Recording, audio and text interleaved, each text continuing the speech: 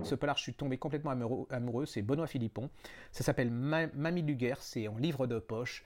Alors si vous aimez euh, Tarantino, Bernard Blier, euh,